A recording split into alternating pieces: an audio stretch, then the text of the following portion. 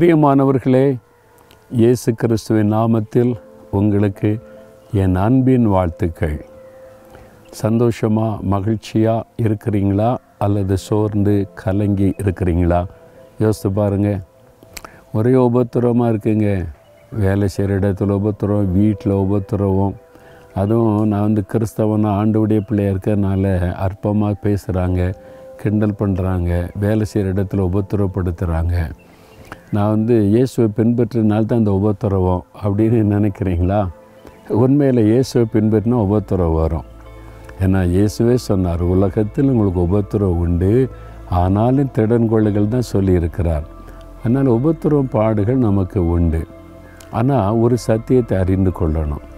ரெண்டு குறைந்திய நான்காம் அதிகாரம் பதினேழாம் வசனத்தில் அதி சீக்கிரத்தில் நீங்கும் லேசான நம்முடைய உபத்திரவம் மிகவும் அதிகமான நித்திய கன மகிமையை உண்டாக்குகிறது. அதி சீக்கிரத்தில் நீங்கும் நம்முடைய லேசான உபத்திரவம். இந்த உபத்திரம் இருக்கிற லேசானது.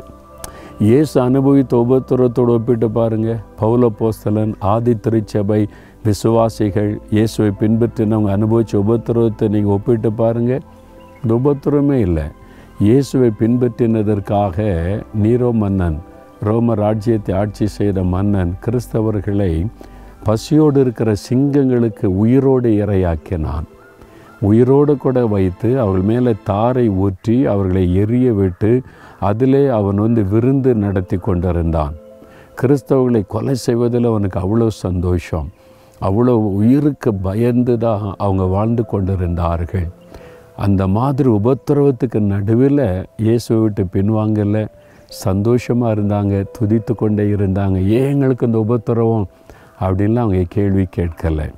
அப்போ அதோடு ஒப்பிடும்போது நம்ம பெரிய உபத்திரவமாக இப்போது சிலர் சொல்லுவாங்க உங்களுக்கு பெரிய உபத்திரம் எனக்கு பெரிய உபத்திரமே இல்லை. யாரோ நாலு பேர் உட்காந்து பேசுகிறான் திட்டுறான் நிறைய பொய்யான காரியத்தெல்லாம் வாட்ஸ்அப்பில் பரப்புகிறாங்க இதெல்லாம் பெரிய உபத்திரவமாக உபத்திரமே கிடையாது. இயேசுவுக்காக இது லேசான உபத்திரவம். சீக்கிரத்தில் நீங்கிறோம். ரொம்ப நாள் நிற்காது நான் பார்த்துருக்குறேன் என்னுடைய ஊழிய பாதையில் இந்த நாற்பத்தி நாலு வருடத்தில் எத்தனையோ உபத்திரவத்தை பார்த்துருக்குறேன். ஒன்றுமே நிலை நிற்கலை கொஞ்ச நாள் அந்த உபத்திரம் போயிடும் அப்புறம் அடுத்த உபத்திரம் வரும். நம்ம உபத்திரவம் தான் கிறிஸ்துவ வாழ்க்கையில் ரொம்ப இன்ட்ரெஸ்டிங்காக இருக்கும். அப்போ தான் ஆண்டவர் நம்மோடு நெருங்கி இருப்பார். ஆறுதல் படுத்துவார். நம்ம கரம் பிடித்து நம்ம மேலே தோளில் கை போட்டு நடத்துவார். ரொம்ப சந்தோஷமாக இருக்கும். அதனால் உபத்திரவத்தை கண்டு சோர்ந்து போகாதங்க.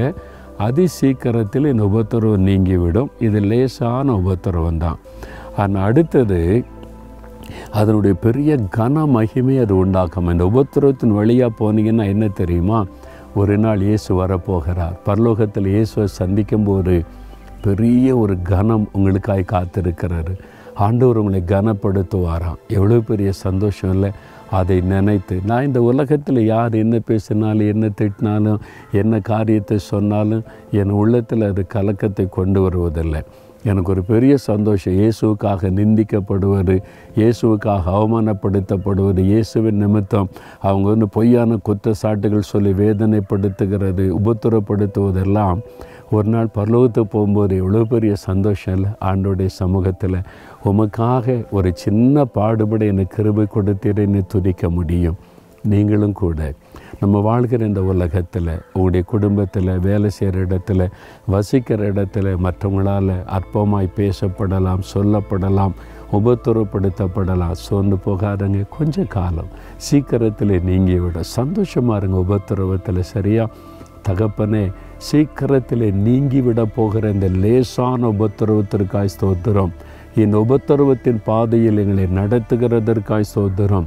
வரப்போகிற மகிமையில் உம்மோடு மகிழ்ந்து கழிகூறுகிற உன்னதமான அனுபவத்தை தரப்போகிறதற்காய் ஸ்தோத்திரம். இயேசுவின் நாமத்தில் உபத்திரவங்கள் பாடுகளுக்காய் ஸ்தோத்திரம் ஸ்தோத்திரம் ஸ்தோத்திரம். ஆமேன் ஆமேன்.